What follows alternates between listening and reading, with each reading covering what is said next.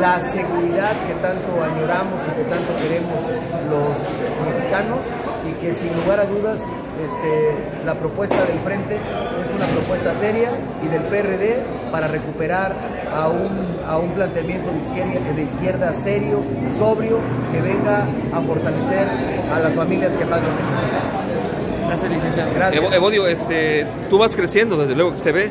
Eh, ¿Vas a ocupar un, cuerpo, un, un cargo político? No, no lo sé, más que cargo, soy un dirigente responsable. Hoy quiero que Acapulco le vaya bien, quiero que a Guerrero le vaya bien. Hoy lo que estoy buscando es eh, sumar amigos, sumar compañeros, sumar perfiles que ayuden al PRD, que ayuden a la campaña.